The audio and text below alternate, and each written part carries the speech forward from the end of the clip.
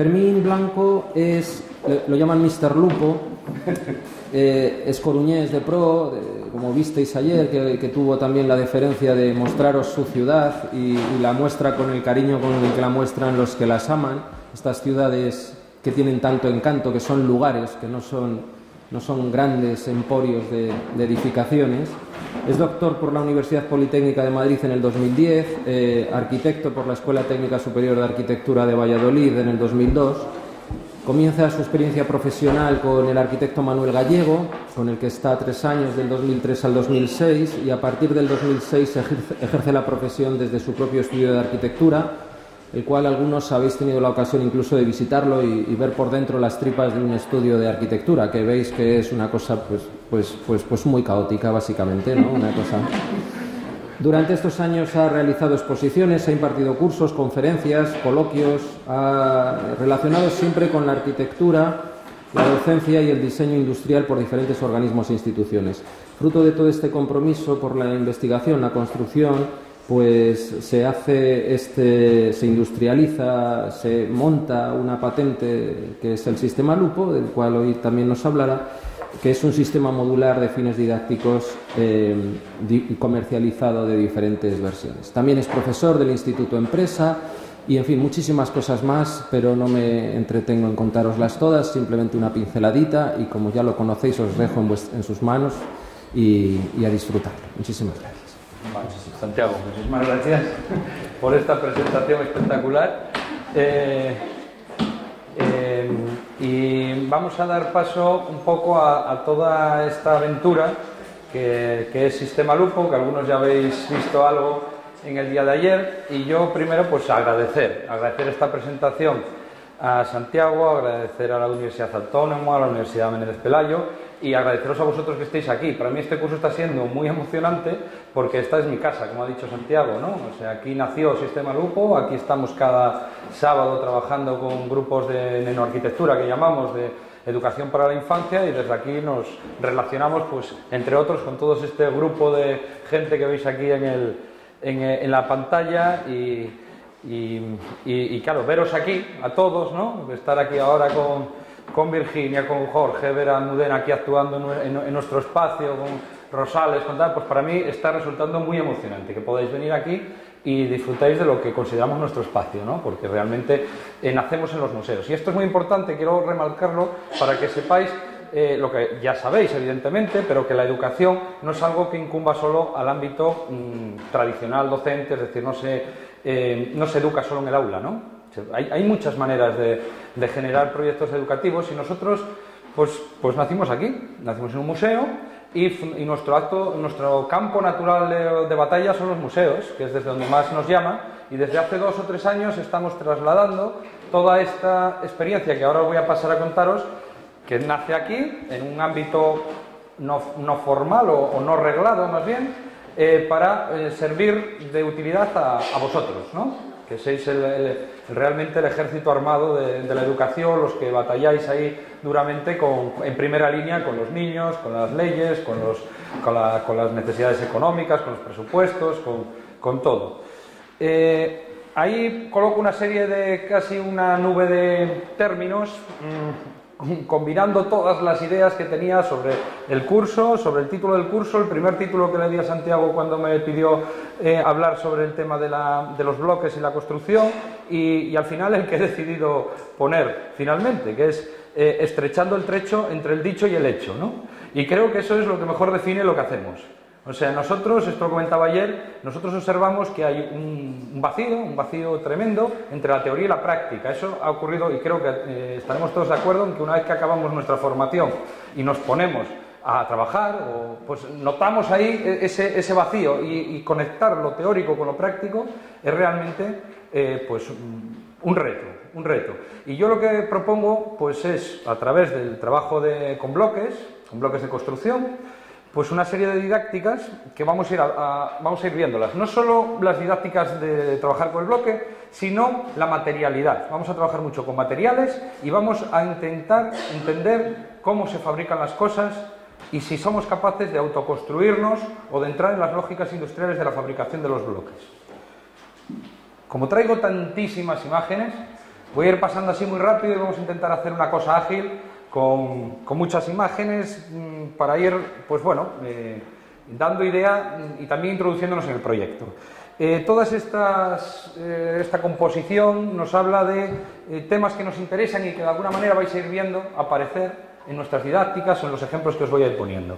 Pues por un lado, no las voy a citar todas, pero arriba están las permutaciones del artista Esther Ferrer, que tienen dos condiciones, las permutaciones, las muchas posibilidades de colocar todas las posibilidades que hay de colocar una manilla de una puerta, ¿no? brazos arriba, brazos abajo, izquierda, derecha, tal, tal, tal, las nueve posibilidades. Es decir, trabajar con la combinatoria a partir de pocos elementos es algo que a nosotros eh, nos, nos interesa. También nos interesan todos este tipo de juegos en los que no es posible jugar una única persona, lo cooperativo, el trabajo en equipo.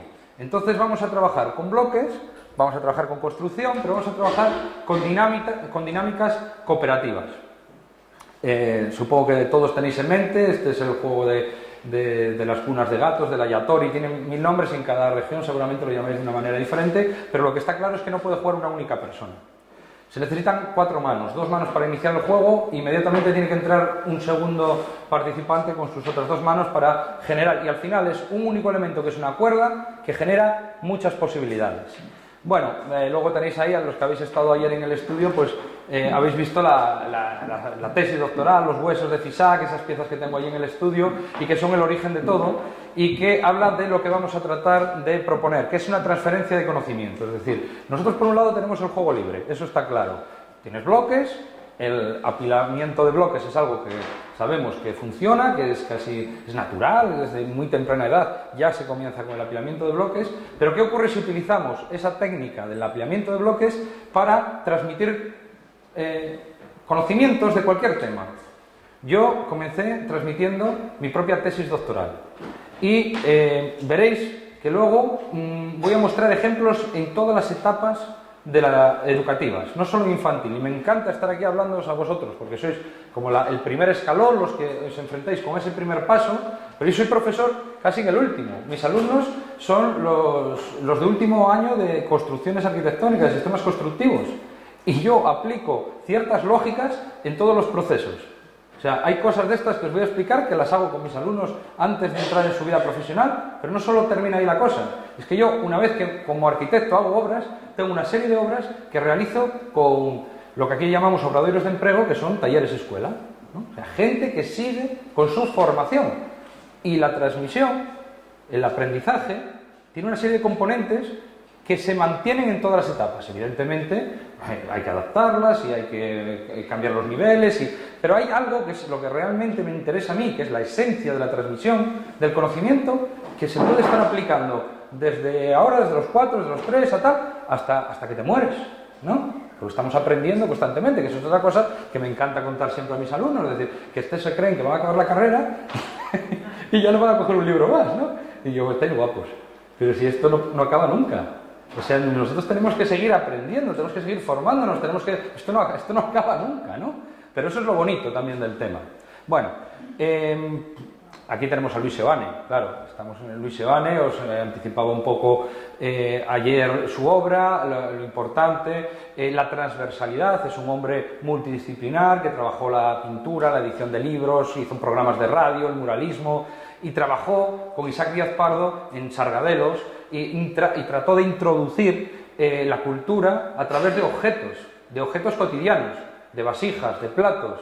Y entonces, mm, los soportes, los soportes pueden ser todos, ¿no? Y eso lo sabéis vosotros muy bien, o sea, se puede dar una clase de matemáticas jugando al badminton. O sea, cualquier tipo de soporte puede ser válido para iniciar un proceso educativo. Eh, y también el comercio y también la industria. Y entonces ese es un plano del que os voy a hablar, porque también es un plano que a mí me interesa mucho, que es la intercolaboración arte-industria, educación, universidad, museos, colegios. Y ese es el mundo en el que yo me muevo desde hace nueve años, eh, que he conseguido ir generando un grupo que cada vez somos más y los iré presentando y citando. ¿no? Bueno, este es pues John Hudson, podría citar muchos arquitectos, pero este es el arquitecto de la ópera de Sydney y esta es una visión habitual de un estudio de arquitectura. Aquí este ya es, eh, a la izquierda es un Hudson de edad madura, que está ahí jugando, parece que está jugando con sus casitas, realmente está proyectando una seriación. una viviendas en serie. A la derecha estaba presentando el, las, estaba trabajando en equipo con todo su equipo del estudio para la, ópera de Sydney, ¿no? los cascarones de, de la ópera. Este es un tema que, también nos interesa mucho, la seriación, es decir, sabemos que lo importante es el alumno y que cada alumno es diferente y tiene unos intereses, pero también es cierto que recibimos grupos y hay sistemas educativos que afectan a comunidades enteras, a países enteros. Entonces, por un lado, hay que valorar las dos cosas, cómo hacer cosas seriadas, pero al mismo tiempo que permitan llegar a individuos diferentes. ¿Cómo conseguimos eh, contactar con comunidades locales ¿Cómo puedo yo proponer algo para Ciudad Real? Incluso en Ciudad Real, para los diferentes niños de Ciudad Real, que son todos diferentes, ¿no? Pero mm, sistemático, para que esto no se convierta en, una solución para cada casuística, ¿no? Eso es algo que a nosotros nos interesa. La balanza entre seriar y, y entre el individuo y la seriación. Bueno, sabemos que además esto no tiene edad. Bueno, esto es hiper conocidísimo. Esto ni paso por encima. El viejo es la gran referencia. Eh, entre todos los juegos, el de construcción ya está ahí desde el principio de los tiempos. En Bruegel están ahí jugando con sus ladrillos, ¿no? El bloque de construcción funciona. Esto os lo ha contado Carlos.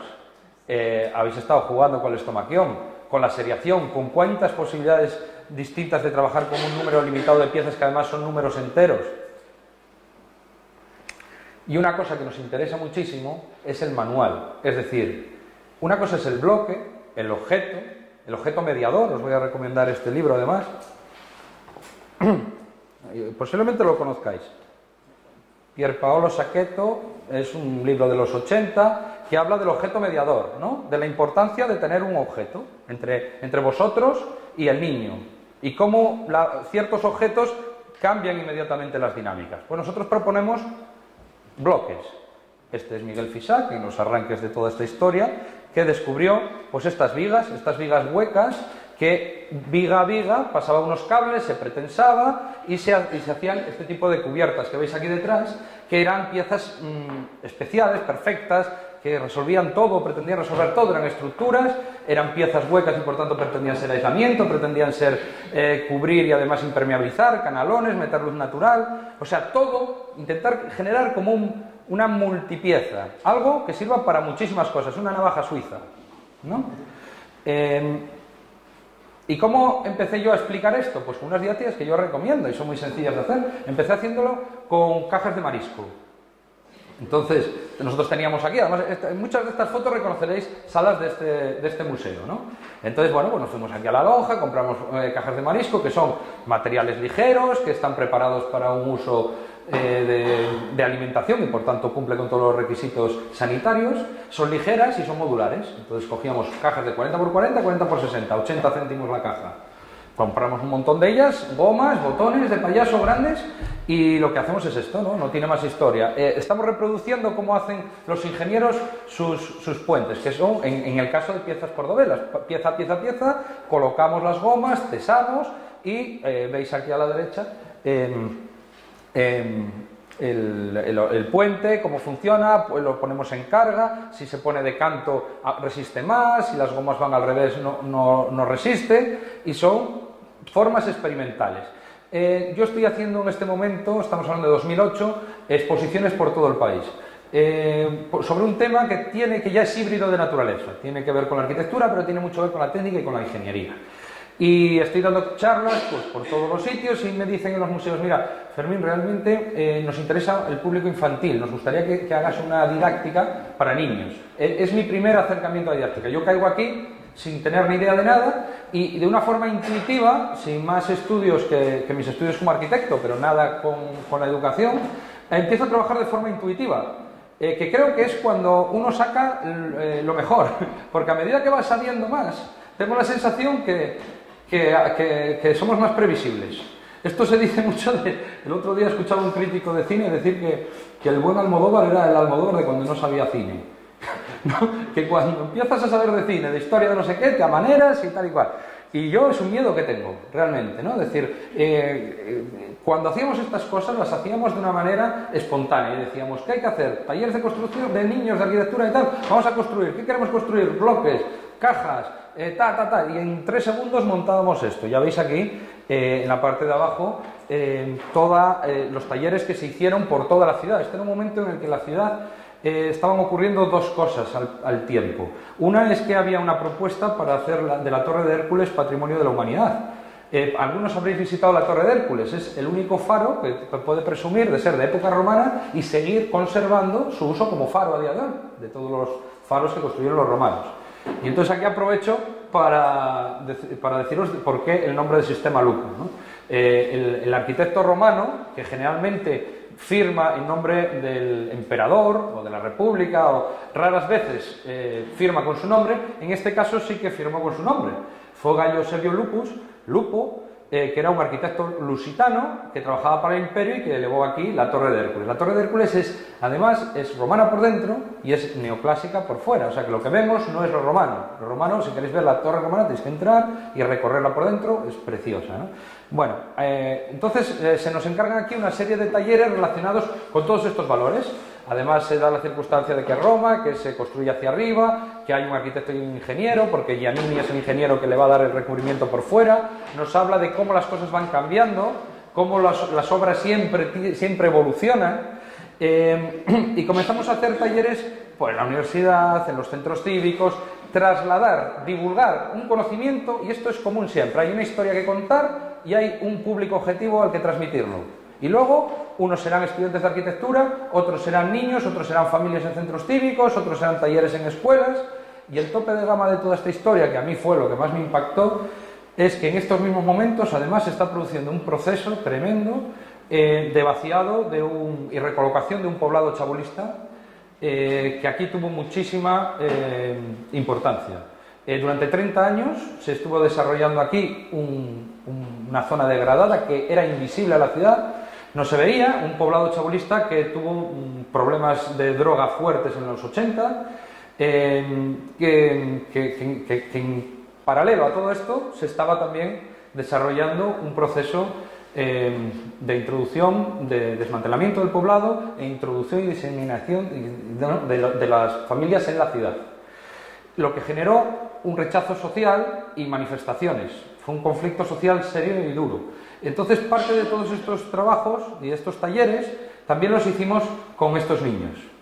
Entonces, el, salir durante un año de toda esta experiencia eh, nos hizo ver muchísimas realidades de un plumazo.